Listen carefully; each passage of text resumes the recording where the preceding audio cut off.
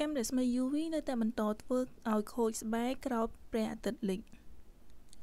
ប្រពន្ធក្រុងវ៉ាស៊ីនតោនការស្រាវជ្រាវបែបវិទ្យាសាស្ត្រជាច្រើនបានកំណត់បង្ហាញថាកម្ដៅព្រះអាទិត្យ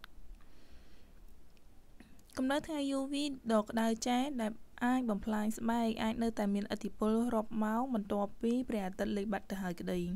យោងតាមការសិក្សាចុះផ្សាយនៅក្នុងទស្សនាវដ្តីវិទ្យាសាស្ត្រចុងក្រោយនេះបានបង្ហាញថាការប៉ះពាល់នឹងពន្លឺព្រះអាទិត្យ ឬអំពូលអគ្គិសនី បំពាក់នៅក្រេប្តូរពណ៌ស្បែកអាចបំផ្លាញ DNA នៅក្នុងស្បែកដែលដើរតួនាទីផលិតជាតិមេឡានីនទប់ទល់នឹងពន្លឺព្រះអាទិត្យការបំផ្លាញស្បែកនេះមិនត្រឹមតែកើតឡើងនៅពេលដែលត្រូវកម្ដៅថ្ងៃផ្ទាល់ប៉ុណ្ណោះទេវាអាចបំផ្លាញស្បែកនៅពេលដែលអ្នកស្ថិតនៅក្នុងម្លប់ឬក្រោយពេលព្រះអាទិត្យអស្តង្គត ការបំផ្លាញ DNA កោសិកាដែលផលិតជាតិមេឡានីននេះគឺជាដើមចមនាំឲ្យកើតជំងឺមហារីកស្បែកតែម្ដង ក្នុងការសិក្សាចុងក្រោយក្រុមអ្នកវិទ្យាសាស្ត្ររួមទាំងវិជ្ជបណ្ឌិត Douglas Prass សាស្ត្រាចារ្យជំនាញព្យាបាលជំងឺពីវិទ្យុសកម្មមកពីសាកលវិទ្យាល័យវិទ្យាសាស្ត្រក្រុង Yale បានកំណត់បង្ហាញថា DNA ប្រមាណជាពាក់កណ្ដាលបានខូចនៅក្នុងទីម្លប់ ក្រោយមនុស្សប៉ះពាល់ជាមួយនឹងកាំរស្មី UV ពួកគេបានរកឃើញថាកាំរស្មី UV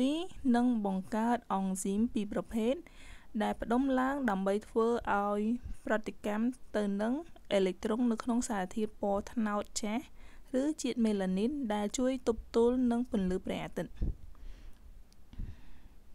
ផលប៉ះពាល់អាចត្រូវបានកាត់បន្ថយដោយប្រើលេការពារកម្ដៅថ្ងៃ ទាំងពេលកំពុងនិងក្រោយ ដើរហាលថ្ងៃ ដើម្បីកុំឲ្យកាំរស្មី UV ធ្វើប្រតិកម្មដើម្បីកុំដើម្បីកុំឲ្យកាំរស្មី UV ធ្វើប្រតិបត្តិការគីមីនាំឲ្យខូចស្បែក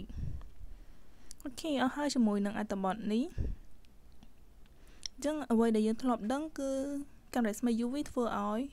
ស្បែករបស់យើងមានបញ្ហាបើសិនជាយូរទៅអាចនឹងកើតជំងឺមហារីកស្បែកហើយ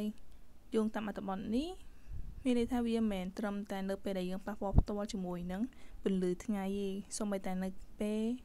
ក្រោយពេលដែលយើងប៉ះពាល់ជាមួយនឹងពន្លឺថ្ងៃឬក្រោយពេលដែលព្រះអាទិត្យអស្តង្គតអឺប្រតិកម្មហ្នឹងវានៅតែមានដដែលអញ្ចឹងវិធីការពារគឺប្រើលេការពារកម្ដៅថ្ងៃ